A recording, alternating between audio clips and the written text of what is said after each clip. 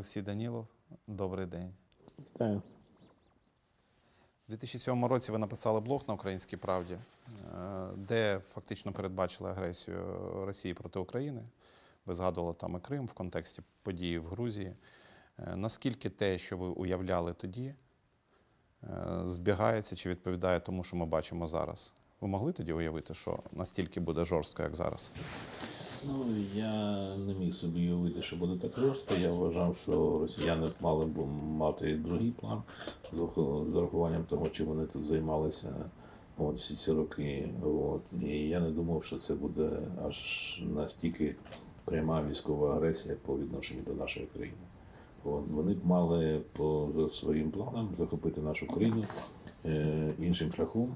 Вони захоплювали її економічно, вони захоплювали її політично, вони захоплювали її через гуманітарну сферу, вони захоплювали її через е, релігію і багато інших речей. Вони тут домінували майже, скажімо так, от, постійно.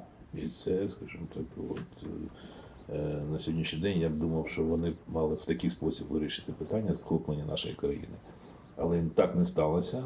От, не сталося по різних причинах, і вони перейшли до відкритої агресії. А яка головна причина, чому так не сталося, на вашу думку? Справа в тому, що велика помилка була зроблена в 2014 році. От, я мав три великих публікації от, перед вереснем 2014 року, коли захоплення Криму я назвав операцією Кукан, на якій посадили Путіна.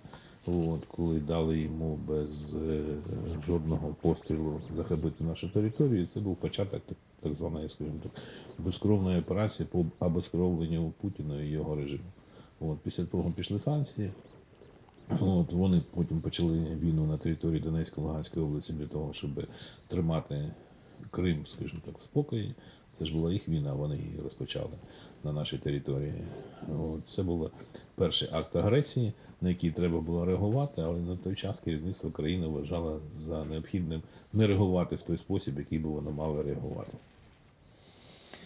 Якщо уявити таймлайн війни у вигляді відтинку, скільки ми вже пройшли за вашими оцінками? Е, Ну, по-перше, ми в війні знаходимося 30 років. Я хочу, щоб ви розуміли, що Російська Федерація ніколи, навіть коли був Єльцин, у них не було, скажімо так, от, бажання лишати нас спокою. От я можу зараз е, сказати, що навіть він, ну нібито демократична людина, от вони тоді вже зазихали на Крим. Вони тоді казали, що ну так сталося, що це не зовсім ваша територія і таке інше. Це було доволі довго. Якщо казати зараз про цю частину гарячої фази війни, я не є оптимістом з точки зору, що вона закінчиться там в квітні або в травні. От. Це буде тривала війна, і вона ще буде тривати на превеликий жаль на нашій території. От. Скільки по часу, це дуже багато залежить від багатьох чинників. Перш за все, це залежить від нашого війська, От. це залежить від наших партнерів. І це треба визнавати, і це треба про це треба відверто прямо казати. От, тому що без допомоги партнерів нам би було вкрай вкрай складно тримати цю російську армаду, яка насунулася на нас 24 лютого. Що насправді зараз відбувається на сході? Е, Наскільки анонсований Росією масований наступ е, відбувається відповідно до їх планів? Де вони буксують? Ну, по-перше, я не можу сказати, що вони е, буксують. Вони ведуть військові дії з урахуванням тої ситуації, наскільки їм наші війська дають можливість вести такі військові дії. Це залежить більше від нашого війська, це залежить більше від нашого опору. Те, що вони хотіли перейти в наступ і мали велике бажання дуже швидко захопити нашу територію, це була їх велика помилка, і це була помилка не тільки росіян, це була помилка всіх без спецслужб всіх країн світу, тому що вони нам давали від 3 до 5 діб. От, одна була сама оптимістична, яка вважала, що за три тижні е, Путін захопить всю нашу країну, включно з містом Лева. І через три тижні ми мали б, скажімо так, все керівництво мало б вже бути в екзилі для того, щоб партизанська війна, яку готували наші, скажімо так, от, е, якої готували наші війська, наші партнери, пояснили, що саме буде так, тому що це друга армія світу, їй вкрай складно буде протистояти. порівняно літаки, танки, БТР тощо. І в мене в цьому кабінеті, в мене в своєму кабінеті дуже багато було розмов. Я їм пояснював, що ви нарахуєте один чинник, на який ви не звертаєте увагу, який є у нас. Вони звертали, вони казали, і що це таке? Я казав, що це наша воля, от яка є абсолютно, скажімо так, от неперевершена з точки зору боротьби е, за свою незалежність. Я їм як приклад наводив тих хлопців, які на західній Україні до 62-го року вчинили опір такої великої на той час країни, як Радянський Союз, от, яка контролювала все, але до 62-го року бійці от, е, не підкорювалися і воювали. Так само було б тут. От. Ну і ми бачимо сьогодні, що них цей бліцкрік не вдався. От. На 26 березня це була сама велика е, територія, яку вони захопили на нашій, в нашій країні під час цієї, скажімо так, от активної фази цієї війни, яка триває вже роки, роки, роки. От. Після 26 березня ми їх почали відтісняти. От. Ми їх вигнали з території Київської області, наші війська з Сумської, Чернігівської області. І всі ці несенітниці, що вони казали, що це от, вони там якісь добрі, е, і вони пішли. От. Це не відповідає дійсності. Вони там просто вже не могли знаходитися, їх би там просто добували вже їх і так добряче там били, їх би просто добували вже повністю. До речі, цей наратив дивним чином збігається з наративами, ну, мовно кажучи, е, політичних опонентів, які так само кажуть, що випусти, що Росія відійшла, що Росія відійшла, що ми не чинили Росія спротив. відійшла під натиском наших військ. От, а те, що Тобто це не був жест, Те, е, жест доброї волі. Політи... Звичайно, ні. Те, що стосується політичних наративів, знаєте, я можу сказати, що президент, як дуже мудра людина, він перший день, 24 лютого, зібрав в ситуаційному центрі е, РНБО на вулиці Банковій, зібрав е, голів всіх фракцій, зібрав голів всіх груп, хто був на той час, не всі були, до речі. От, е, дехто вже, як е, класики кажуть, став на лижі і втік от, з країни, от, чи з Києва. От, я не всіх там бачив. От. І в нього була промова, він до них звернувся, сказав, що пропонується, скажімо так, от, припинити всі чвари. Ми єдина команда, ми Україна, нам треба зараз захищати, давати все те, що стосується політичного процесу, відкладемо це, скажімо так, на після війни. Всі погодились, от, але у декого, у декого це протрималося ровно, скажімо так, півтора-два тижні, і потім почалася, скажімо так, от, нова, нова історія. Дуже багато політичних діячів бажали поразки президентові, це е, їх сутність. Чому? Тому що вони вважали, що вони на цьому, скажімо так, будуть далі заробляти якісь, скажімо так, собі дивіденди, за- далі будуть вони говорити. Де? В країні якої не стане. Ну, дивіться, ми ж е, з цими людьми, які для яких гроші є домінантою взагалі у всіх процесів, з ними в, їх логіку вкрай складно втрутитись. У них своя логіка. Вони живуть по своїй логіці, от вони, я їх називаю селфі-політиками. От вони з автоматами, з кулеметами, вони ну, як Бетмени, вони скрізь когось спасають, когось рятують. Таке, знаєте, дивне явище. І от те, що стосується всіх селфі-кулеметів, автоматів було дуже багато, і вони не розуміють, наскільки смішно воно виглядає. Людина, яка жодного разу не стріляла, більш того, в армії не служила. От. І коли президент прийняв абсолютно правильне рішення в перший же день, що всі мають взяти, хто має бажання в руки зброю, і держава має це забезпечити. І ви пам'ятаєте той день, коли всі, хто мав бажання у всіх великих містах, могли взяти, скажімо так, в руки зброю. От відповідно, у тебе є зброя, ти відчуваєш себе захищеним. От. А наші політики вважають, що це було як антураж для фото і для подальшої е, фіксації там в Фейсбуках, Твіттер, ну всіх цих мережах. До речі, якщо повернутися до цих мереж, доволі така цікава ситуація. Це, це, це на те, що ми звернули увагу. От, починаючи з першого дня, дуже багато політичних діячів взагалі пропали 24 лютого з екранів, скажімо так. От, до цього вони там по 5-6, якщо вони не зроблять 5-6 е, постів за день, то це для них було якось. От. А їх немає 24-го, їх немає 25-го, їх немає 26-го. Вони чекали, чим же все це буде закінчитися. Дуже багато підчистили свої фейсбуки, от, прибирали ті чи інші, скажімо так, от, записи, які там були до цього були. От. Дивіться, сам по собі Фейсбук доволі така е, цікава з'явилася е, інституція, цікавий інструмент. Е, Дехто почав проявлятися вже, коли три дні були бої, коли вже було зрозуміло, що три дні проходить, а ми стоїмо і більш того, не збираємося здаватися, почали перші з'являтися, скажімо так, там пізно ввечері, 26-го на третю добу вже перші якісь такі невеличкі, скажімо так, але дуже-дуже м'які Обережні. обережні. А хтось з'явився там 1 березня, ну потім вони пішли все.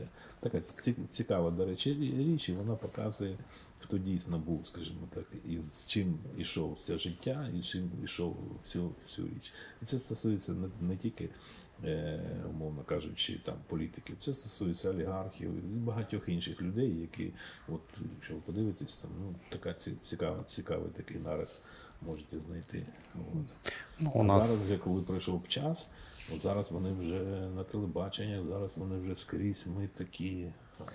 ну, народився мем у нас якось е, Трускавецька ТРО в цьому сенсі. Ну, їх багато таких там. є Мукачівське, там, Мукачівське, їх, да. їх, їх, їх, їх багато, да. Їх, знаєте, от, Е, ім'я їм регіон. Так. Ви сказали, що е, нам давали три дні, і найсміливіший був е, прогноз, що три тижні. Е, Ну, західні спецслужби, вони, в принципі, ну, не схожі на таких інфантильних хлопчиків, які не пропрацьовують матчастину. Вони переоцінили російську армію чи недоцінили нашу армію? Ну, слово сполучення нам давали, але воно не зовсім, скажімо, коректне, я думаю. Ну, не нам Воно- давали, вони давали в прогнозах своїх. Да, вони, вони прогнозували. Так. Більш того, вони е, говорили, що концтабори будуть створені, буде знищено все політичне керівництво держави. От, тобто вони нам давали навіть, скажімо так, опис того, як все це буде відбуватися. От, як це буде виходити. Я думаю, що це застаріла, е, застаріла математика, умовно кажучи, да, яка не враховує дуже багато чинників сучасності. От в сучасності зараз дуже багато чинників, до яких, е, на яких ніхто не звертав увагу. Ну, я можу сказати, що коли йшлася мова, вони постійно ще раз наголошую, порівнювали танки, гармати, літаки. От. А ми, коли готувалися до цього дійства, ми готувалися заздалегідь до війни. Ми єдине, що не ми, не, ми не могли публічно суспільству сказати, що друзі, завтра буде війна. Паніка це саме страшне, що може бути. От, ми готувалися, ми готувалися в такий спосіб, щоб те, що стосується зв'язку, те, що стосується інформації, воно мало працювати 100%. Уявляйте собі перший другий день війни, і у вас немає Стільникового зв'язку, Інтернету у вас немає інтернету, у вас немає телебачення, у вас нічого немає. Ви знаходитесь, умовно кажучи, сучасна людина. Якщо в нього цього немає, він такий в темряві знаходиться. Дротових телефонів вже немає, куди ви можете позвонити, де ви можете взяти якусь інформацію, уявляєте, які би посли. Це для нас була фундаментальніша річ, от яку ми тримали за дорученням президента. Ще десь ну ми цим займалися рік-півтора для того, щоб все це працювало бездоганно. І на сьогоднішній день не усвідомлюють багато людей взагалі, як так сталося. Тому що у нас є одна тут е, людина, я мав з ним е, з нею розмову 26 числа.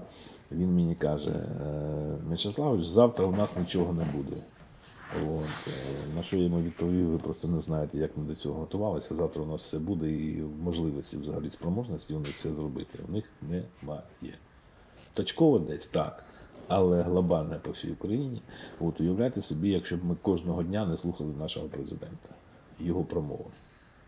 Якщо б кожного дня президент не, не міг звертатися, скажімо так, до парламентів інших країн, якщо б він не мог спілкуватися, то зв'язок, інформація це одна із фундаментальних речей от, сучасної війни. Вони взагалі це не брали до уваги. Сучасна війна це дуже дуже багато чинників. Тактика окупантів в Донецькій Луганських е, областях вона виглядає не як звільнення, а як е, тотальне знищення всього. Ну тобто е, спалена земля, навіщо вона їм? Що в цьому є раціонального? Ну, ну по-перше, а нащо їм взагалі е, наші громадяни, нащо їм, їм взагалі наша країна? Їм наша країна не потрібна. Я можу сказати, в травні 2010 року з'явилася е, перша стаття на території нашої України, яка мала назву Рашизм. У 2010 році, в травні місяці, якщо я не помиляюсь, 18 травня. От, е, я дуже добре запам'ятав цю статтю. Вона вийшла через е, три тижні після того, як були підписані фактично акт капітуляції нашої країни в Харкові. Те, що було в Харкові, це називається акт капітуляції держави України перед країною агресором, агресором Російської Федерації. От. І ті люди, які приймали участь в підготовці цього акту, підписанні цього акту, голосування потім у Верховній Раді, це є державні злочинці, які мають відповідати по 13 статті нашого, скажімо так, от, е, закону. Але, на жаль, ми живемо в такій системі координат, де відповідальність відсутня. Незважаючи на те, що Рада нацбезпеки і оборони за дорученням президента нашого, нашої країни, який є головою Ради, прийняла рішення, щоб правоохоронці розібралися з харківськими угодами, як це відбувалося. Ті мерзотники, які все це робили, вони знаходяться, вони спокійно себе почувають. Це велика проблема, і це те, чого після війни не має лишитися, не має бути. Якщо це лишиться, країни не буде. Не, Якщо ми лишимо не настане ту систему- відповідальність, мається на. Якщо ми лишимо ту систему координат, Ага. яка була нам запропонована з 91-го року, потім яка була запропонована в Конституції, скажімо так, в 2000, е, де, перепрошую, 96-го року, це е, е, за, законодавча безвідповідальність. Це фундаментальна річ, коли у нас ніхто ні за що не відповідає. Це неприпустимі речі. Більш того, у багатьох інституцій повноваження, от, які вони використовують на власний розсуд для власного збагачення, от, не працюють на державу і за це не відповідає жодним чином. Проста річ. Кримінальне провадження може тривати десятиріччями. Це гроші платників податків. Потім вони закривають, з'ясовується, що там нічого немає. Перед людиною ніхто не вибачається. Ті люди, які це робили, вони інші провадження відкривають, вони інші роблять, скажімо так, от, мозок людям. Це вже такі професійні, скажімо так, от, е, в лапках люди. От, а це, це ж відображається на державі. Таких прикладів дуже, дуже, дуже, дуже багато. Чому нас постійно от, до, до війни нас постійно звинувачили в, в корупції, нас постійно там тикали носом, що от дивися, ви корумповані, корумповані, корумповані. Да ні, ми не корумповані не більш, ніж е, будь-яка інша країна. Інша справа, що відповідальності немає у тих людей, які б мали це питання доводити. Не в корупціонер, а ті, хто мав би з ними боротися. Ми наплодили НАБУ, САПи, ДБРи, БЕПи. Тобто нам, у нас стільки вже інституцій. От. Яка з них користь тут складно сказати, але їх просто величезна кількість. Коли вони не виконують функцію, воно приходить до дуже-дуже таких е, складних наслідків. І сьогодні, коли у нас е, війна, і коли там нам закидають о тому, що ми там е, щось там по зброї, а по інших речах, я можу сказати, з першого дня і президент, і вся інституція працювала, щоб вона була. Це не наша провина, що всі ці роки до приходу, скажімо так, Володимира Олександровича просто вивозили, продавали, вивозили, продавали, вивозили, продавали.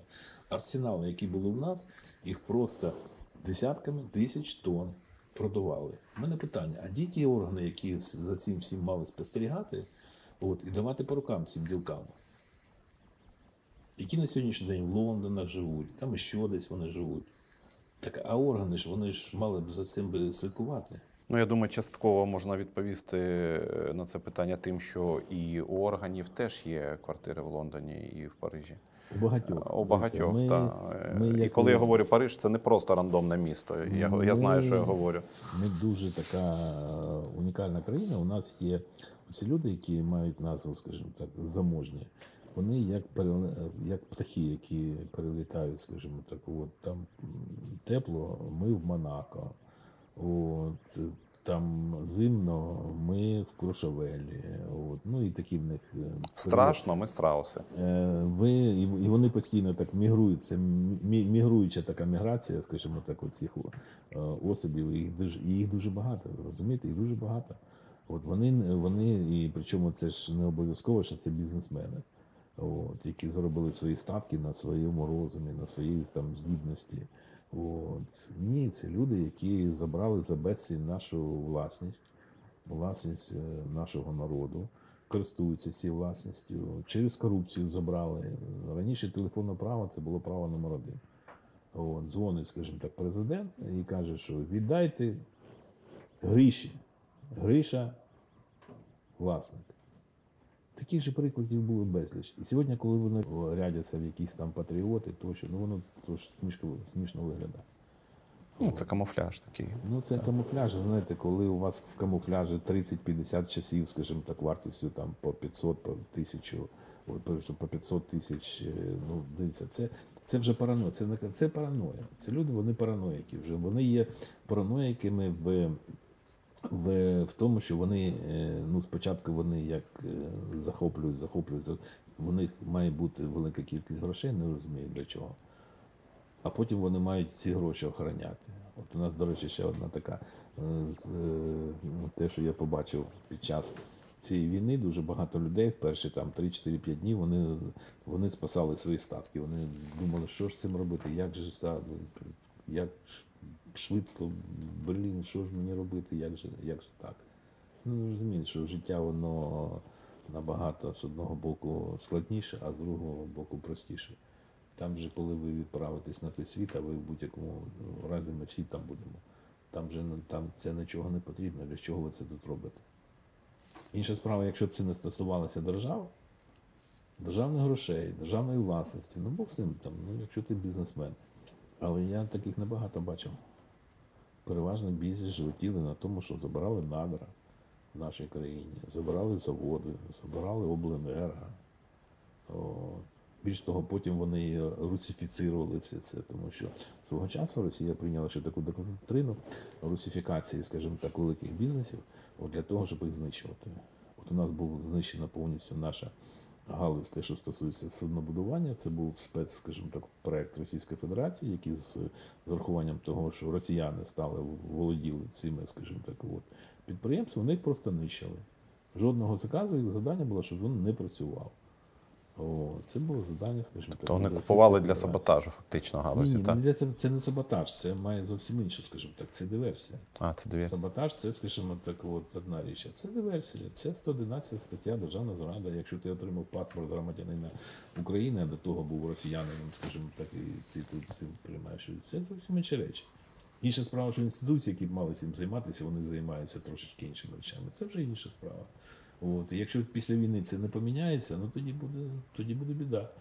От. Тоді буде біда, тоді може бути, я вже казав одного разу, я, те, що я, скажімо так, хвилююся, що якщо люди не, не, це не зрозуміють, тоді може бути зовсім інше, їх можуть тоді е, по-іншому питати, інші люди. І це дуже небезпечна річ для країни.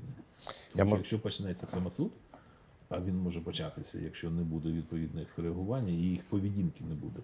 Це буде доволі така небезпечна ситуація. Я- Я можу помилятися, але мені здається, що от за тими ситуаціями, які ви зараз е, тут згадали, в годинниках, в ситуації з годинниками я впізнав е, Суркіса, який був нещодавно ну, це затриманий ви- на кордоні. Це, це ви впізнали. Ні, я кажу, я впізнав. Та я ж Ну, просто. Їх багато, їх насправді багато. багато. Угу. Насправді, Медведчуков, Суркіс, їх насправді дуже багато. Їх багато. До речі, вони ж партнери, наскільки я розумію. Ну, звісно, так. Да. Це ж стара історія, ще, скажімо так, з часів е, Кучми. І, і тут же в мене питання. Ну, хто є Медведчук? Ну, для мене це не було якоюсь новиною ще з, е, там, з 97-го, скажімо так, от, е, 98-го року. Але де були всі ці органи, які б мали цим питанням займатися? До речі, сам Кучма свого часу колись сказав, що в нього, біля нього працювали люди, е, з е, яких під е, Погони. погони да, кітеля. От. Повертаючись до Сходу, які ризики, що російські війська вийдуть на адміністративні кордони? Те, що вони проголошують? Це складне питання, це питання, яке буде вирішуватися найближчим там 2-3 тижні. От, я думаю, що там буде запеклі бої. е. Наше військо стоїть, але ще раз наголошую, що це дуже-дуже складне питання. Але якщо навіть в них там вийде на якісь там 10, 15, 20, 30, 40 кілометрів куди заходити, це не значить, що ми звідти не будемо прибирати. Я хочу, щоб ми були свідомі того, що все, що вони на сьогоднішній день будуть там спробувати захопити, ми все це повернемо обов'язково. Тому що не буває такого, щоб темрява, скажімо так, перемагала. Російська Федерація це суцільна темрява. Причому цю темряву вони свідомо пішли самостійно. От, і це їх суть. І коли кажуть, що ну, от якщо б е, е, що це все Путін. Дивіться, це Росія це є колективний Путін. Якщо 82-85% людей підтримують війну з нашою країною, причому в них в голові, що ми якісь брати, вони так собі, скажімо так, намалювали історично, що ми є братами, скажімо так, що ми, ми маємо їм підкорятися, таке інше. От. Тому там буде, там буде складна ситуація, там не буде нам легко, не буде легко нашим військовим. От. Вони і так вже тримають е, два місяці ту оборону. Вони два місяці мужньо вже більше захищають нашу країну. Але чи можна сказати, що е, за рахунок надходжень озброєнь, ну про це дуже багато говорять в медіа. Я хочу верифікувати це надходження озброєнь, е, наші позиції зміцнюються. Чи це Це- дуже умовно все? Озброєння це одна із складових. Є ж інші речі, є, скажімо так, тактика. Є на сьогоднішній день війна це річ, до якої, по-перше, ви не можете підготуватися ніколи. До жодної війни ви ви підготуватися не можете. І оце те, що сталося на території нашої країни, це якраз яскраве підтвердження тому, що всі вважали, що буде воно не так буде, як воно на сьогоднішній день є. Це перша річ. Друга, дуже багато речей залежить від е, людини, як е, людей, які безпосередньо знаходяться саме там е, на полі бою, від їх поведінки, від того, як вони, скажімо так, там на місці вирішують ті чи інші питання бою. Це дуже дивіться, це дуже складна річ, і хто, як, я, якщо хтось вважає, що це там десь на якихось паперах написано, можна вивчити і так робити, ні, це війна, це зовсім це. Математики такої не існує. Не, взагалі не існує. Дивіться. Там від поведінки, від поведінки одної людини може залежати, скажімо так, доля бою. Від поведінки, скажімо так, командира або якоїсь іншої людини. От. Це, це, дивіться, я хочу, щоб ми з вами усвідомили, що це війна. Це е, війна, на якій кожного дня гинуть люди. Це, це, ну, це просто страшна річ. Я можу сказати, я е, пересуваюсь по країні. От, я не фіксую ті міста там, де я з'являюсь, я не роблю ніяких селфі, тому що, ну, по-перше, хочу сказати, що це ще і небезпечно. Якщо, не дай Бог, ваша, скажімо так, прилад знаходиться під контролем, майте на увазі, що вас можуть відслідкувати по фото, по відео, точку, скажімо так, де ви це робили, коли ви там робили, хто там був поруч і таке інше. От. Е, Ми були в Чернігові, от, в, в погранотряді, і ну, це було повністю знищена ця територія, доволі велика, от, з е, будівлями, з адміністративними, з автопарками, з боксами. Вона була вона була просто знищена повністю. Знаєте, і коли дивишся на, на все, що там було, ну це просто, знаєте, ну, уявляєш собі, який там, який там був жах. Коли в приміщенні там е, з самої криші, скажімо так, от пробита цими снарядами, пробита, ну, просто от, і я там плакав. Я там плакав, ми приїхали, привезли е, прапори України, от, і командир ви- вишукував загін, от, частина загинула, от, з, з Чернігівського загону. Вийшов в загін, і була така ситуація, що почали піднімати прапор. От, і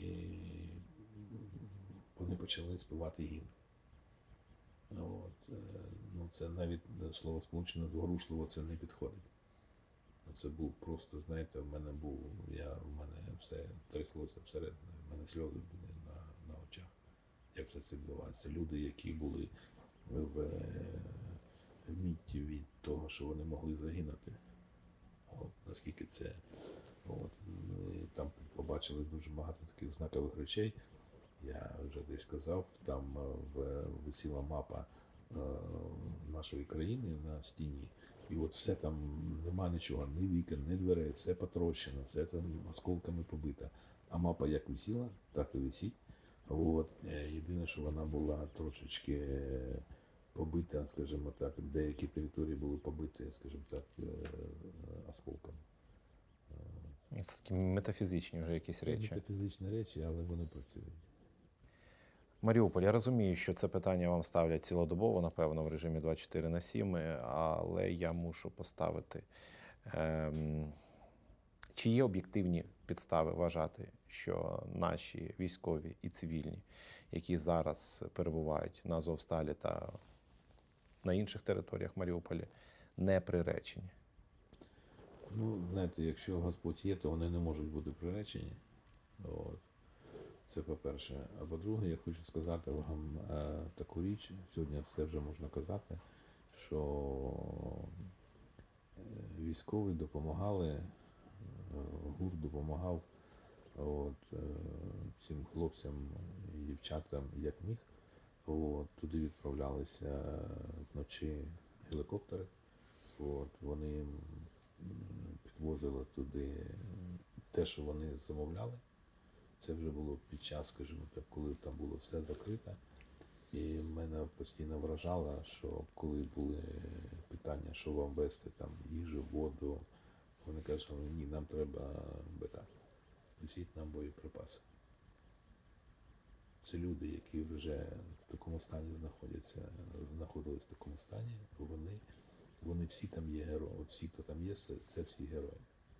От, якщо була б хоча б е, маленька можливість їх звідти визволити з точки зору якоїсь військової операції, вона б обов'язково була відбулася. На жаль, е, от, е, те, що ми називаємо тяжке важке озброєння, броня, от, в достатній кількості ми на сьогоднішній день її ще не маємо. Якщо б ми її мали, повірте, президент би дав би команду така б операція була зроблена. Скільки вони можуть протриматися там ще в такому форматі? Є якісь це, цифри? Це, це дуже складне питання. Дивіться, це, це вони і так тримаються, як е, я не знаю. Але вони вже перевершили всі Вони фізичні. все, все, що можна було перевершити, І логічні. вони, вони вже перевершили. Це ну це просто неймовірно те, що там відбувається. І коли росіяни роблять заяви, що вони нібито там захопили Маріуполь, ну е, звичайно, це ж їх е, звичайна річ, що вони постійно брешуть. До речі, оця брехня їх завела до такого стану, що вони власними руками через цю брехню знищили і знищують свою країну. Це брехня, яка тотально почалася, скажімо так, там починаючи з 2007 року, от на території Російської Федерації, там воно пішло вже, скажімо так, такий е, як е, треш. От. Вони самостійно знищили свою країну, тому що ви не можете жити в, в тотальній брехні. Ви маєте знати правду, тому що правда завжди перемагає.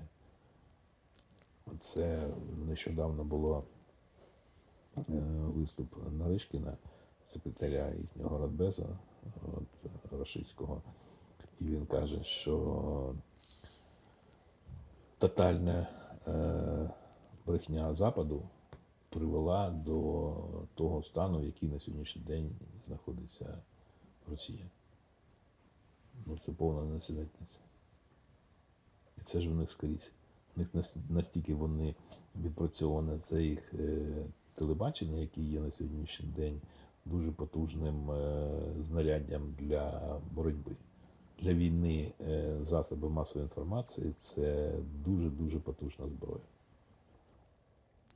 Окупанти заявили, що вони вивезли з е, окупованих територій більше мільйона українців. Е, Наскільки, за вашими даними, ця цифра відповідає дійсності? І е, куди, за вашими даними, їх вивозять цих людей? Що з ними? План, який був у росіян, він був відкритий е, 6 вересня 2021 року. Була стаття Шойгу. От, е, вона мала назву розбудова е, міст Сибиру. От, бо в тамтій статті була такий великий нарис, як вони будуть е, будувати там нові міста від 3 до 5, в яким будуть 300-500 там, до мільйона чоловік мешкати, і вони там пишуть, що їх будувати будуть громадяни країн СНГ. От, їх план був в цій війні це захоплення нашої великої кількості наших громадян, переселення їх саме, скажімо так, от, туди для будівництва цих міст, які вони собі з Путіним там, ви пам'ятаєте, вони там постійно ходили по тій тайгі, тому це були, скажімо так, намріяли собі, що вони там будуть. Вони навіть розписи, як вони там будуть. Вони ж історично нічого не змінилися, як після Другої світової, під час Другої світової вони дуже багато наших громадян нашої країни вивозили туди в Сибір. От, і там дуже багато народилося вже громадян, які повернулися потім сюди до нашої країни з цих концтаборів, які були з Радянського Союзу. У них нічого, у них нічого не змінюється. Вони зараз по всій країні розвозять наших громадян, е, і е, де, в деяких випадках роблять такі показові, скажімо так, відео зйомки, що там хтось задоволений, що, але це є громадяни нашої країни, в які вони до нього наче відношують, у мене є велике питання. От. Е, Ви знаєте, що вони там роблять ці фільтраційні, скажімо так, от, табори. Е, Ну, ну це сучасний рашизм. До речі, він в Вікіпедії там вже розписано, що таке рашизм, і що в 2010 році один розумний, е, розумна людина, от, е, Остап, він написав цю статтю, яка має назву Рашизм. Там все прописано. Включно, скажімо так, от, з, е, цими чинниками, які входять в цю, в цю річ. Там ця сьогодні форма правління от, е, в Російській Федерації це рашизм. Як повертати цих людей? Е, Чи існує якийсь алгоритм е, дій для цього? Це складне питання зараз задаєте, особливо під час війни, коли війна не з- як тільки війна закінчиться, всі громадяни, які можуть мати, мати бажання повернутися до нашої країни, ми обов'язково повернемо. Я просто хочу, щоб ми з вами розуміли, що це має назву, скажімо так, це тероризм, це викрадення людей, це вбивство людей, катування, це тероризм. І на превеликий жаль, от ми прийшли до того, що сучасний світ дуже мало звертав на це увагу. От, тому що якщо б вчасно реагувати на всі ці речі, цього, цього б не відбулося. Ну, дуже проста річ, коли е, він захопив Крим, е, одна ситуація, але ви ж пам'ятаємо, що до цього, у 2008 році, різав від Грузії от, е, її частину. І жодної відповіді цивілізованого суспільства на це нахабство не було були е, вояжі е, французького на той час е, президента. Він француз був перемовником, до речі, якого засудили у Франції Пан Саркозі.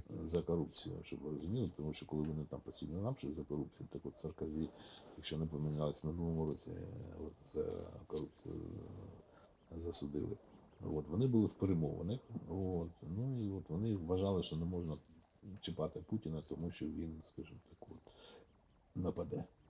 От він нападе. Ну, хоча можна тоді було поставитися на місце. І дуже багато ж було подій, на яких треба було реагувати. У 2014 році, коли за завданням Путіна був знищений е, літак MH17, він мав тоді нести за це відповідальність. Тому що він верховний головнокомандуючий, он, без нього жодне, скажімо так, воєнторг не працює. Те, що він там розповідав, ні, ні. В нього ключі від воєнторга у Путіна. Буки просто так не можуть з'явитися в цій точці. Це, це, це просто неможливо. І тоді всі промовчали. До речі, я хочу сказати, що в тому літаку 298 людей загинуло. Загинуло дуже багато громадян країн-членів НАТО. От. І НАТО навіть не відреагувало на це. Це так само доволі така не, не, непроста ситуація. А сьогодні наслідки. От, тому що ви на все маєте реагувати вчасно. От, якщо ви не реагуєте, ви потім можете мати набагато складніші ситуації, яку ми на сьогоднішній день маємо. Ну, цього зла вмикається мультиплікатор. Може, може, і не треба було, скажімо так, от там е, нападати, але в будь-якому випадку у вас має бути реакція. Тому що реакція це ваша, скажімо так, ви, ви висловлюєте свою точку зору. Людина, може, замислилася, а нічого ж не відбулося. До речі, суд там е, так само, от скільки років пройшло, суд аж так і остаточного рішення суду немає. Щось там вони з'ясовують. Тобто ви вважаєте, що світу такою своєю незрозумілою лояльністю він фактично розбестив Путіна? Е, Я можу сказати, що світ прийшов до того часу, що він буде змінюватися після цієї війни. Після нашої перемоги буде зовсім інший світ, будуть нові альянси, будуть е, нові е, конструкції, нові конфігурації. В тому вигляді, в якому він є на сьогоднішній день, він вже існувати не буде. Він показав всі свої вади. От, і відповідно карманичі країн, народи тих країн, які все це побачили на власні очі, вони будуть приймати рішення. Вони будуть приймати рішення. Тому що коли німці будували цей е, потік, це була енергетична зброя, яка з, е, спільно був пакт Молотова Бентропа і був пакт е, Путін-Меркель. Ми на це звертали увагу ще е, як тільки почалася перша ця вся ситуація. Вона, до речі, почалася в 2012 році. За часів правління тут е, представника Російської Федерації пана Януковича. От, вони тоді перший же потік був, скажімо так, у 2012 році. А потім вони вирішили будувати другий вже. Це вже було після того, як, скажімо так, от вони, вони нас, дивіться, вони нас взагалі не бачили. Нас не бачив Путін, нас не бачили німці, і багато інших країн нас взагалі не бачили, не звертали увагу. До речі, німці, я дуже багато з ними спілкувався, вони, вони вважали і вважають, ну зараз може помінялася у них думка, що ми, скажімо так, є е, однакові з росіянами, що ми єдине ціле. От, що вони старші, а ми якісь там у них молодші. І це була їх, скажімо так, така їх парадигма, в якій вони жили до, до певного періоду часу. І коли я їм пояснив, що ми зовсім інші, навіть по внутрішньому, скажімо так, от, е, по внутрішній е, суті.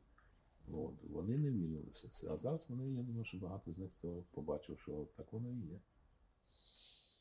Ну, тобто, не до кінця вони пропрацювали е, уроки, так би мовити, Другої світової. Ну, Це, це, це ж дуже швидко проходить. О, це ж дуже швидко. А м, бажання бути величі, воно ж лишається. От, як у росіян, так і у німців. От вони зробили цей альянс, вважали, що вони, е, я перепрошую, але енергетично всю Європу поставлять на коліна, як вони це ж у них любили. Така забава ставити на коліна. Німці були в зговорі з росіянами. От, більш того, величезна кількість німців е, з, е, працювали на, на росіян, той же Шрёдер. А якщо ми трошечки ще покопаємося, так там же ж люди, які ще починаючи з періоду е, Пітера, коли був е, заступником чи помічником у е, Собчака Путіна. Там була людина, яка є директором Північного потіку 2. Він працював ще з Путіним в ті часи, німецький банкір. Там дуже, там дуже багато таких речей. Німці взагалі такі цікаві люди. От виявилося як. От у них була е, така собі мрія. Німці технологія, Росія ресурси, Китай ринок. Ось такий був ланцюг. Цікаво. Я, про- я, я про це не думав. Дуже цікаво. Е, Оця зустріч. Так, так воно намальовано. е, Воно намальоване. І те, що вони, те, що вони робили сьогодні по північному потоку, це була підготовка того, що вони, коли е, зараз йде ж зміна клімату, зараз е, льодовики таять. От, і ви знаєте, що в Арктиці там великі поклади на сьогоднішній день вуглеводні. Вони тренувалися на цьому північному потоку, от, проводили тренування. От, для того, щоб коли хребет Ломоносова буде вже відкритий, в Арктиці, там, де саме великі поклади, то вони доволі швидко на Європу тоді проклали цей, скажімо так, новий продуктопровод. І взагалі було би монополістами. Тому що в будь-якому випадку такі, скажімо так, продуктопроводи вони набагато дешевші. Доставка, скажімо так, майже безкоштовної сировини до Європи, до Німеччини, ті, які хотіли з росіянами стати монополістами сировичами. Питання Арктики це питання найближчих там 70, 5-7-10 років. Питання Арктики воно буде на часі по багатьох питаннях, в тому числі і по питанню Китаю. Тому що якщо потім Китай зможе йти, скажімо так, тим шляхом набагато швидше на Європу, зараз він 40-45 днів йде, от, так буде йти 12-14 днів. Уявляйте собі, скажімо так. Рівень експансії. Це Та. взагалі дуже, дуже.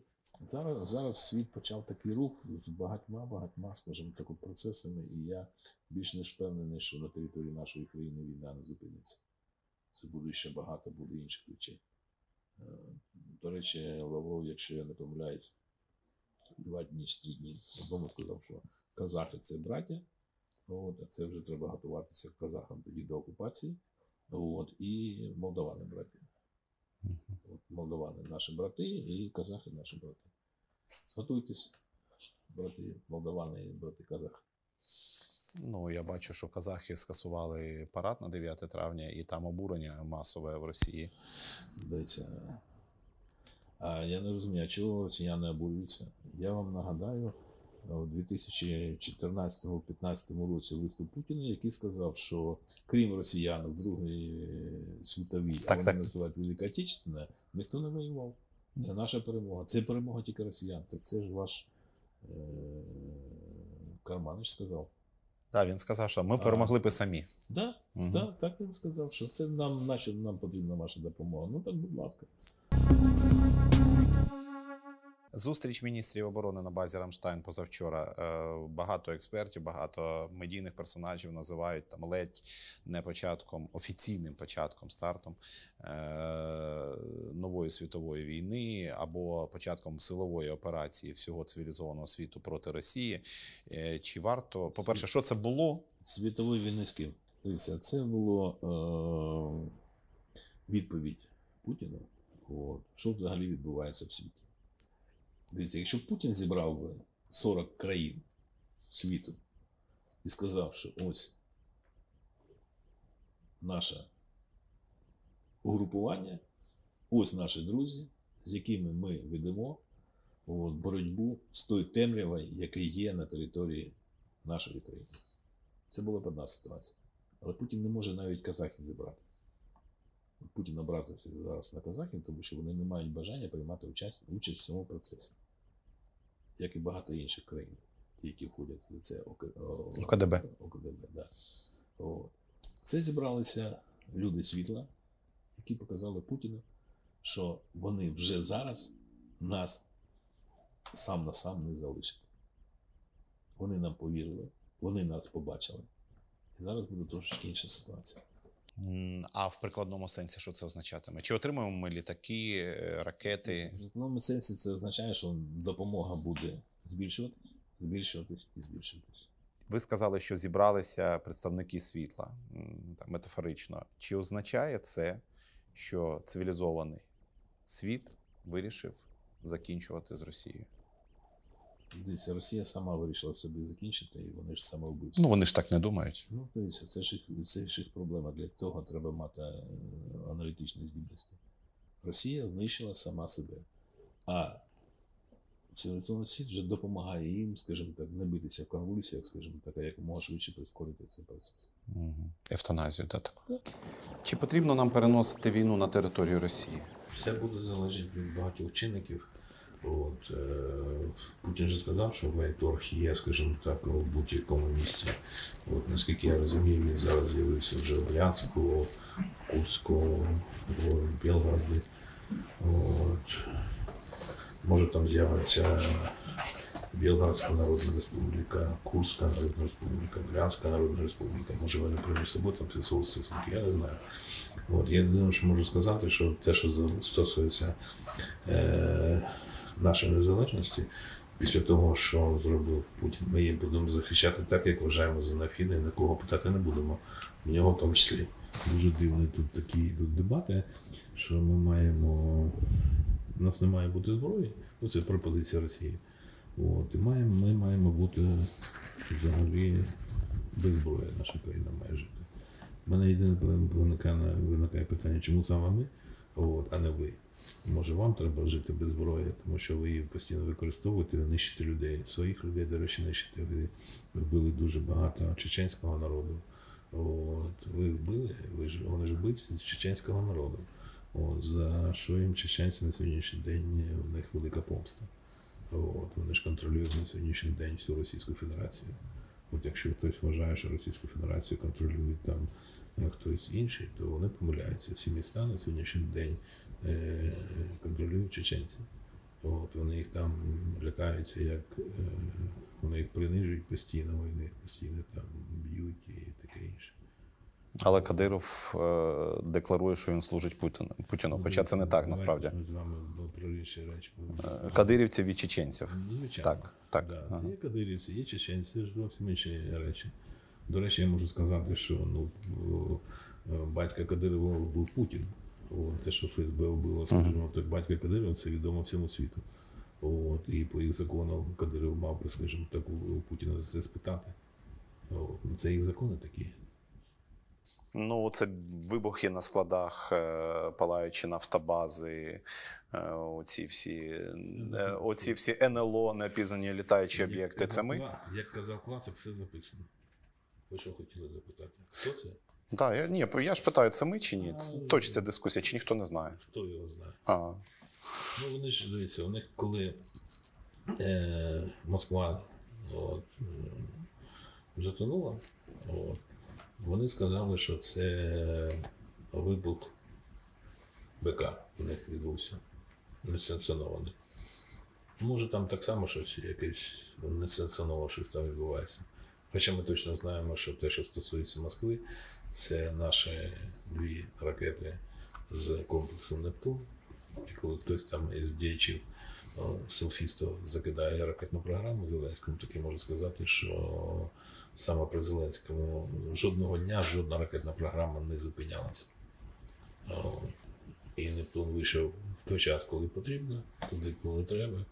І те, що було у них флагманом, те, що вони там вважали, що це взагалі. Ну, я, єдине, що доволі довго тонув. От, не, не, не так швидко, як е, мене там питалися, ну що, я кажу, та ще тоне. От ще палає. Спочатку він палав дуже довго, а потім він вже затонув. як зробити цю війну більш відчутною для росіян, для колективного Путіна, як ви назвали? Можливо, палаючі склади продуктів та інші об'єкти, які забезпечують їхню життєдіяльність, е, допоможуть їм трішки опритомніти? По-перше, це їм точно не допоможе опритомнити. Я в цьому більш не впевнений. Вони будуть короїсти і казати, що Путін е, це наше все. От. Ну, так там побудована система от, переважної більшості громадян. А по-друге, ну повірте, нас, ми, у нас є розуміння, в який спосіб зробити так, щоб перемога була за нами. І вона за нами буде обов'язково. Зараз з'явилося дуже багато. От я помітив, що щойно почалося почалися оголошення про те, що нам постачають більш важку зброю, там і танки, і системи залпового вогню, і таке інше. Ну те, що в публічній площині Е, з'явилися паралельно меседжі про те, що нібито розкрадають озброєння та гуманітарку на кордонах, і е, це е, роблять там різні медійні персонажі. Е, е, Існують різні теорії з цього приводу. Хтось каже, що це інформаційна психологічна спецоперація Росії. Хтось каже, що дійсно має місце така там корупція, розкрадання. Ви можете це прокоментувати? Ну, давайте ми з вами на дві частини. Те, що стосується розкрадання зброї, це взагалі неможлива річ, тому що воно все фіксується, воно все передається по всім актам відповідно. Та частина, яка заходить на територію країни по зброї, це взагалі питання. Ми не можемо з вами говорити, що це взагалі можливо. Те, що стосується гуманітарної, скажімо так, допомоги, треба розуміти, про що йдеться мова. От просто для цього треба розуміти, про що йдеться мова, про яку гуманітарну допомогу йдеться. Так ніхто ж не конкретизує. Ну, так, Кажуть, розкрадають, призначте смешка. Дивіться, кого? Смешка. Ви не чули цей? Ні? Це, це хто? Ну, Смешко у нас є такий е, колишній е, очільник е, спецслужби. Ігор Смешко, політик. А, це той, який мав би чіпати Медведчука і інші, і не чіпав їх жодного разу. Абсолютно. Це про цього? Так, а, це, так, а, це той, який сіла і честь. Так. До речі, це той, який з, з радарів пропав з 27 лютого. Ну, в Чернівцях чому? Ну, я не знаю, де з Ну, там, про променади по Кобилянській, там кажуть. ж постійно там же ж е, були ж е, е, першими на всіх е, ТВ і на всіх е, були. От, е, це про цього смішка. Так, так, так. Ну, дивіться, може, ну я не знаю, чи можна йому до, доручати е, гуманітарними консервами займатися, ну я, я не знаю, може і можна. От. Але я не знаю для чого він же ж. От.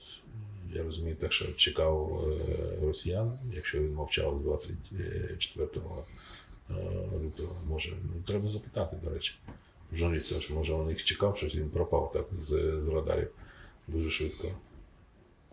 Намагання. Я ще наш Ага. от ви заходите от на ці сторінки і бачите, і навіть на сторінки партії, які називаються політичними партіями, як вони на це реагували, що, що в них там на сторінках було. От. Воно ж стерте, дивіться. Зараз в сучасному світі ви нічого не можете приховати. От сучасний світ так побудований, що ви нічого в ньому приховати не можете. Навіть при всьому бажанні. Цифровий світ. Складно щось ховати. Те, що стосується гуманітарки, навіть якщо і там хтось якусь банку консерву або ще щось, ну дивіться, це взагалі, ну я не розумію про що не розумію, про що ми говоримо. І це е, виступив, е, була стаття, там одна, друга, потім була там дискусія з цього приводу. Будь ласка, у нас в країні вже бажаючи, скажімо так, от, займатися контролем скільки завгодно, будь ласка, контролюйте. Робіть, скажімо так, от е, там ГО нас зазвичай цими питаннями, будь ласка, контролюйте, займайся. Дивіться, це ну я, я не знаю, як в кого підійметься, скажімо так, от рука красти гуманітарну, скажімо так, допомогу. Для чого? Ну, я думаю, що це не дуже, не дуже очевидний якби, факт, тому що у нас е, є люди, які крали геть, геть усе. І ви, і ви згадували про приватизацію і про все У інше. нас півкраїни вкрали, Ага. от, і ніхто не бачив. Такі, як Смішко і компанії, які б мали б цим займатися, вони ж на стражі мали бути.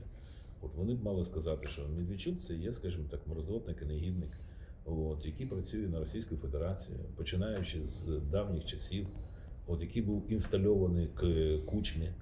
От, він тоді вже був в зв'язках з Російською Федерацією. От, е, на гуманітарку поставити розподіл чи контроль, ну може, тут впорається, якщо з такими, як Медведчук, жодного разу не впорався. Е, Я зараз, говорячи от про це, я намагаюся аналізувати і обговорювати з вами е, такі найгучніші медіа інформприводи, та? от які з'являються. Ну, я ж людина з медіа, я відстежую, що з'являється на інформаційних сайтах, е, в соцмережах, таке інше. Ще один намагання, скажімо так, вбити клин між Зеленським і Залужним. Е, Коли зробили таку кампанію, типу, давайте залужного президента, що насправді залужний е, все, все робить, а не президент України. Хто це робить? Ну, дивіться, перше, я можу сказати, що є Верховний Головнокомандуючий, Так. президент нашої країни, в якого по Конституції функції саме, скажімо так, от, оборона нашої держави, безпека нашої держави і міжнародних справ. От якщо уважно читав Конституцію, там все прописано. От. Є генерал Залужний, який на сьогоднішній день є головнокомандуючим збройними силами. І це, звичайно, була спецоперація для того, щоб почати спробу розхитувати е, ситуацію всередині людей, які кожного дня спілкуються, кожного дня, скажімо так, приймають рішення. От, кожного дня, кожну хвилину, я би навіть так сказав, мають, скажімо так, контакт між собою. Звичайно, спецоперація з е, залученням, я не вивчаю російських, скажімо так, фахівців, От, тому що хто їх потім підхватує, хто їх веде, скажімо так. До речі, можу сказати, якщо на 24-25 ботоферма зникне, от, це як явище, то вже десь через 10-14 днів війни вони з'явилися. Вони з'явилися і вони зараз працюють доволі, скажімо так, набирають оберту. Хтось накрав в країні дуже багато грошей і витрачають на всю цю, скажімо так, несенітницю. А там так само дуже легко. Ви заходите в той профіль і бачите, там же ж нічого, нічого немає, крім того, що від цього профілю йдуть якісь, скажімо так, от, коментарі одні й ті ж самі. І ще одне неприят... неприємне таке, я б сказав би, е, звинувачення, яке висловлюється про розмінований Чонгар і е, про буцімто здачу Херсону без бою. Це питання до військової контрозвідки. Якщо це відбулося, військова контрозвідка має дати відповіді на всі ці питання. Якщо це дійсно відбулося. Я ще раз наголошую, під час війни ви не можете нічого заздалегідь розрахувати. Ви не можете заздалегідь всі ці процеси, скажімо так. Я читав те, що відповів е, в е, засобах масової інформації Генштаб з цього приводу. Ну і це питання треба, щоб відповідь нам дала саме, скажімо так, от контрозвідка військова. Ну тобто, ви припускаєте, що це міг бути прорахунок? Дивіться, е, я припускаю, що це може бути прорахунок. Я не виключаю, що це може бути інше дійство. Треба просто розібратися. Але якщо є такий, е, є таке питання в суспільстві, на нього відповідь має бути публічною? Відповідь буде обов'язково.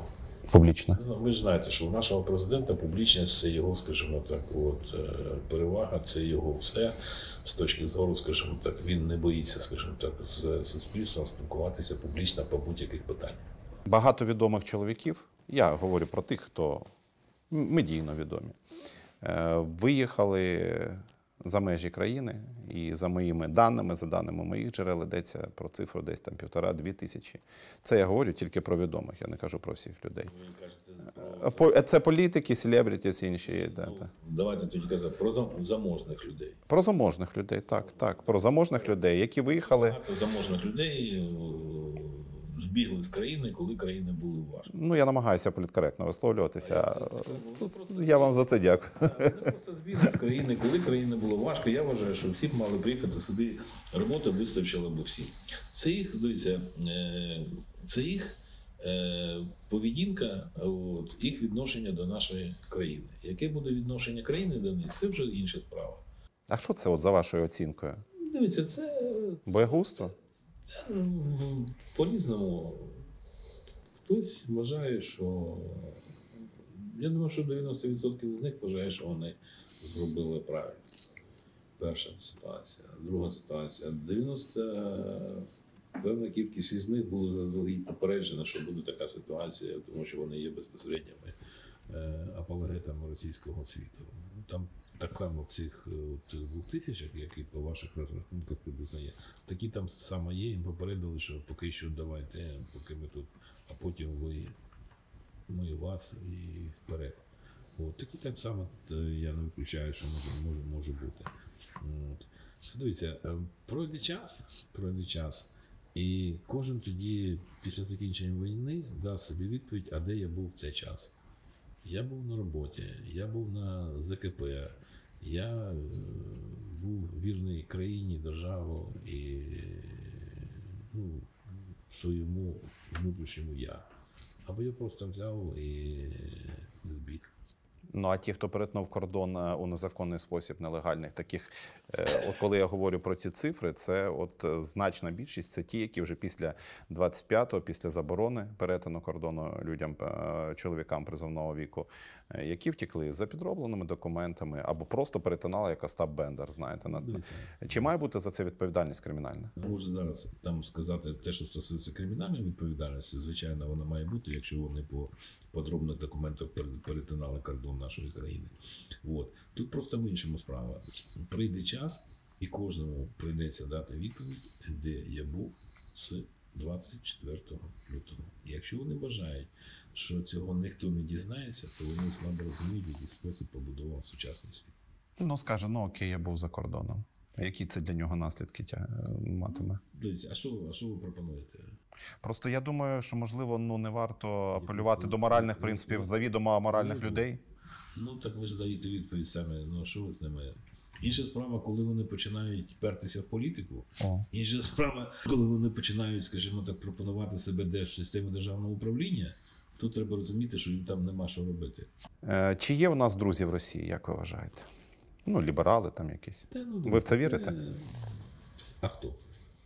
Я питаю. Ну, дивіться, є е, пан Навальний, Так. який каже, що Крим російський. Да, не бутерброд. Угу. Ну, ну послухайте, люди добрі, ви якщо вже тримаєте якусь, скажімо так, планку, так тримайте її. Ну як він може бути російський? Ну тоді я можу сказати, що віддайте е, монголам все. Вони ж свого часу захоплювали всі, всі ваші аули. Тут треба просто розуміти, що треба стояти. От в будь-якому випадку ви маєте стояти. Навіть якщо вам боляче, якщо вам складно, ви маєте стояти. Оця така, знаєте, от. Я дивіться, в мене е, мені складно щось там відповідати, тому що я на це не звертаю увагу. Я читаю дуже багато аналітики, те, що стосується тих процесів, які там відбуваються.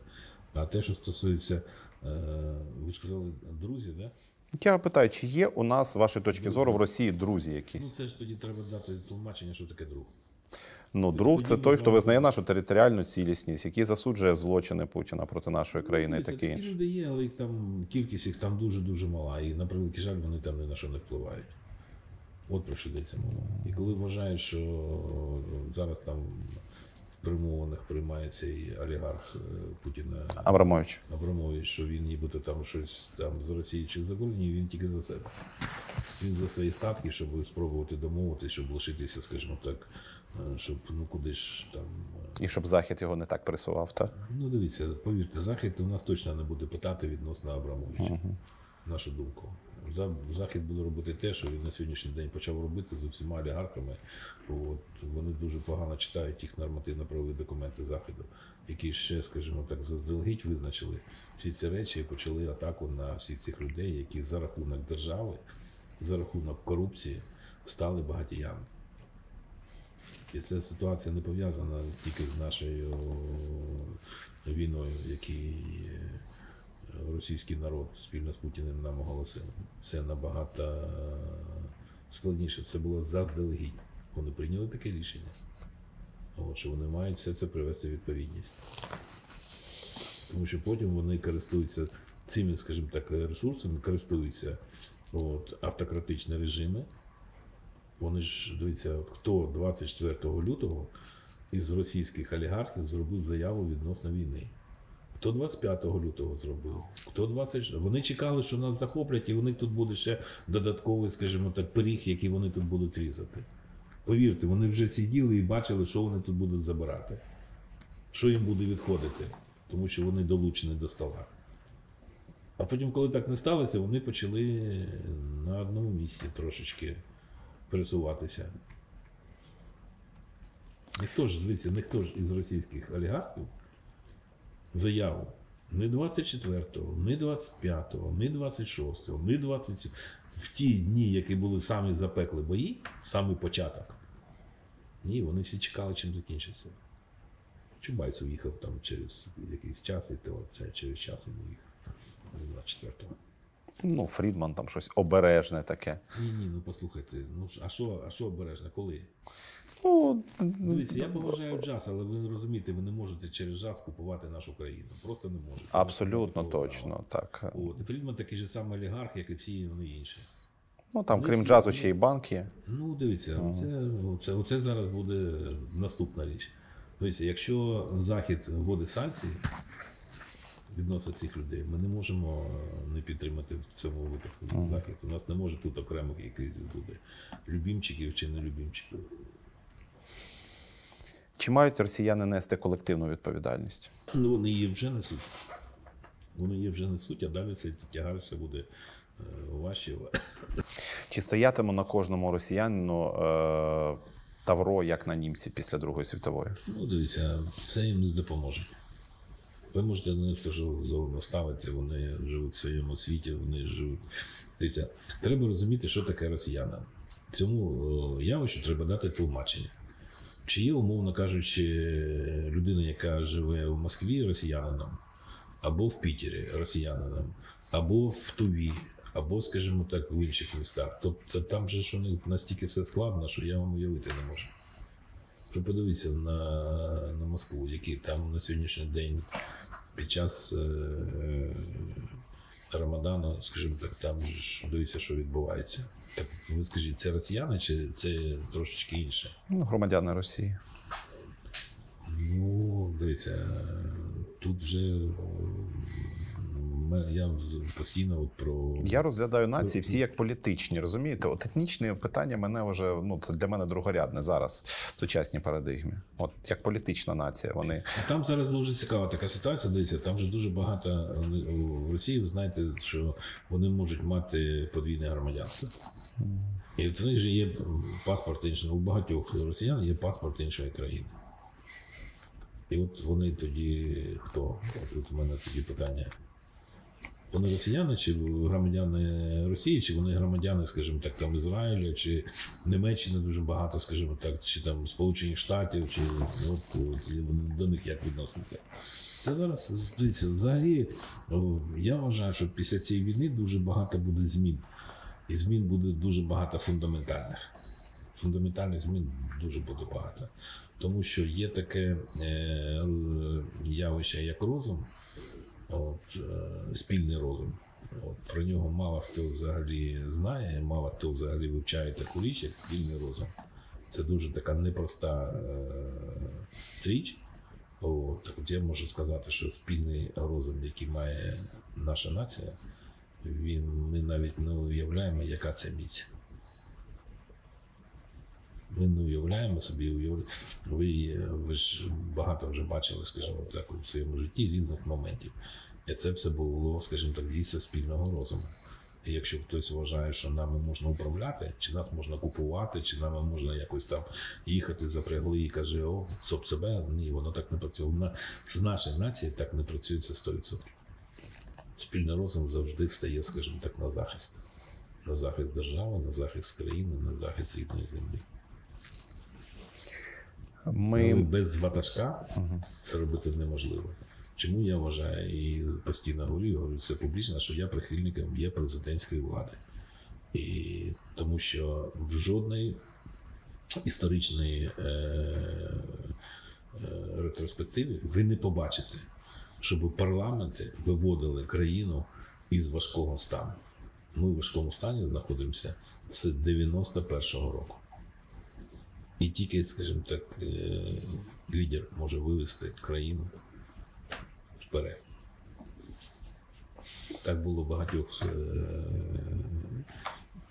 Маємо багато історичних, скажімо так, персонажів, які це робили. І це або це ну там інша справа, він називається президент чи прем'єр-міністр, це вже інша, скажімо так, справа, але це має бути е, одноособне, скажімо так, керівництво, на якому є відповідальність. Тому що починаючи спочатку, безвідповідальність це саме великий, скажімо так, от, негатив, який може бути в будь-якій державі. тобто ви схвально сприймаєте е, перспективу таких от е, змін до конституції, так коли буде закріплена роль одного лідера. Без, от у нас на сьогоднішній день я можу е, вам сказати з певності на 100%, якщо б не лідерські здібності президента Зеленського, нам би було вкрай, вкрай, вкрай складно. І це має це визнають всі. І опоненти в тому числі. Вони кусають собі локті, вони там все. Але те, що робить ця людина зараз під час війни, кожного дня, кожної хвилини, ви навіть не уявляєте, яке навантаження на сьогоднішній день має наш президент звертатися до нації кожного дня, безвиключно, кожного дня проводити безліч зустрічей, е, контактів, е, розмов, секретарів і ну, ви навіть не уявляєте, яке це навантаження. Без вихідних, жодного вихідного. І все це, скажімо так, от е, в приміщенні номер один, так званому, там, де знаходиться його ставка. Це так само великий подвиг, про який мало хто ще розуміє. Всі ці злочини, е, які бачимо, ми бачить весь світ. е, Йдеться про Бучу, Ірпінь, Бродянку, е, інші населені пункти. Олексій Мячеславовичу, ми мститимемо за це. Е, давайте на дві частини. Перше, ми не є інституція, скажімо так, країни, яка буде мститися, але ми нікому не пробачимо і кожен отримає своє. Яким чином? Давайте побачимо. Ну, існує ізраїльська парадигма, яка там Ну, знаходила. Ми розуміємо, які частини, де, в якому місті були. Ми знаємо прізвище, ім'я по батькові всіх тих людей, які там знаходились. Працюють. Давайте я поставлю питання інакше. Чи буде у них спокійна старість, з вашої точки зору? Дивіться, до старості ще треба ж дожити. Чому Росія не хоче забирати Медведчука? А на що їм потрібен? Ну, кум. Лю- Ну, послухайте, людина, яка поцупила у них величезну кількість грошей, яка брала на себе величезні зобов'язання. От, до речі, вони до, доволі таки цинічні, ці росіяни. От, я звернув увагу, де вони проводили, дали можливість провести е, прес-конференцію е, Марченка. Ви не звернули уваги? Ну, якийсь. е, Ні, я не знаю, Ні, що це не приміщення. в Счетній палаті Російської Федерації. Ага. Да, це така, знаєте, собі. Натяк. Ну, я не знаю, натяк або може по книгі життя така, скажімо, так от річ, що їм треба до щодної палати спочатку зайти, потім може мінятися. Чи дає Медведчук свідчення проти своїх спільників тут з українського політикуму? Вам відомо щось? Дивіться, це закрита інформація. Ну, з урахуванням, скажімо так, от психотипу е, Медведчука, я думаю, що дає і дуже багато. Я можу припускати так. Я припускаю, Угу. що Віктор Володимирович розповідає дуже багато про своїх спільників, от, з якими вони робили гешефт на території нашої країни, от, як до 14-го, а особливо після 14-го року. На чому вони заробляли, як це відбувалося і тощо. ОПЗЖ е, зробили ребрендинг в, парламенті, назвали себе інакше. Е, чому вони досі там? Ну, скажімо, я, маючи безпосередні е, там, спілкування з депутатами буквально там за день, за два до війни, мені розповідали, що там, скажімо, Качний є такий, та, там депутат від ОПЗЖ, і інші. Вони казали, що буде війна, тікайте звідси. Ми тут уже все тут з росіянами розподілимо. У нас вже все. Чому ви ще не втекли? Ну тобто вони так от зухвало, дуже цим хизувалися. Е, Шуфрич їздив, фотографував е, блокпости і таке інше.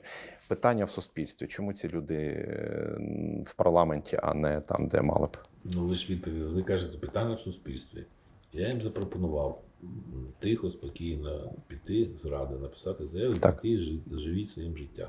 Чому? Тому що те суспільство, яке зараз пройде війну, вона вас звідти винесе вперед ногами і не факт, що живими.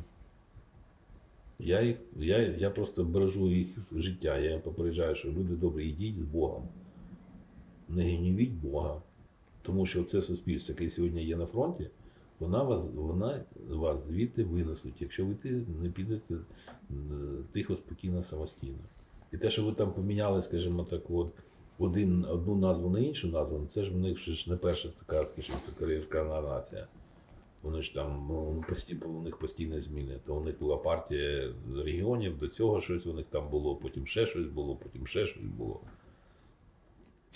Е, В Херсоні та в інших окупованих пунктах окупанти призначили гауляйтерів. Що потрібно знати колаборантам? Ну, по-перше, що це ненадовго. А по-друге, що, щоб вони встигли, скажімо так, щоб вони були бистро ноги, щоб вони встигли втікти. От, якщо встигнуть. Але вони мають е, розуміти, що вони там нікому не потрібні. Зрадники взагалі нікому не потрібні. Якщо людина зрадила раз, о, ну повірте, він нікому не потрібен. І дивую, е, коли дивлюсь, ну, дорослі люди там, ну, на що воно не потрібно? Той же Сальдо там, чи як його там це. Угу. Херсоні. Ну, І останнє питання. Ви... Ми з вами земляки. Ви згадуєте Луганськ? Ну, Дивіться, це е, місто, в якому в мене пройшла доволі велика частина мого життя.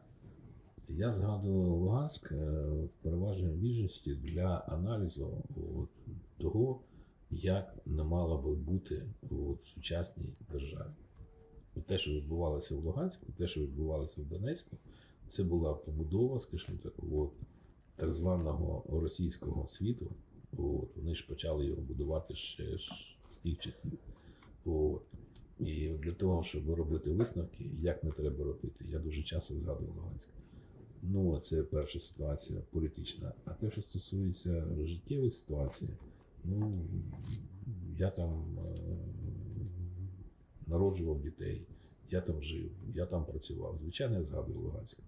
От. Але тут треба розуміти, що він же строкатий, Луганськ, доволі строкатий з урахуванням. І я, відверто кажучи, мені складно сказати, що там буде далі. От питання, коли мене там мене президент коли запитує, каже, Мячеславович, як ви вважаєте, от що там буде далі? Я кажу, Володимир Олександрович, я вам відверто кажу, я не розумію, що там буде, як там буде далі. На базі чого там має розвиватися місто. Я точно знаю, що у міста було, скажімо так, чотири етапи розвитку, ну історично так сталося. От, чи буде п'ятий, чи не буде, і який він буде, коли він буде, мені складно сказати, тому що ну, зараз ну, складна річ. Уявімо, ви повернулися в Луганськ. Ну просто так, умоглядно. Що ви зробите і куди ви підете? Ну, по-перше, перше, що я зроблю, я піду на центр, от, відвідати тих людей, які для мене були е, рідними, з якими я спілкувався, з якими я провів частину свого життя, вони там знаходяться. От, це перше, що я зробив обов'язково. Тому що повага і пошана до тих людей, які там працювали, які будували, які з тобою товаришували, а зараз наводиться сам, це перше, що ти зробив. От, і таких там багато. На жаль. Дякую.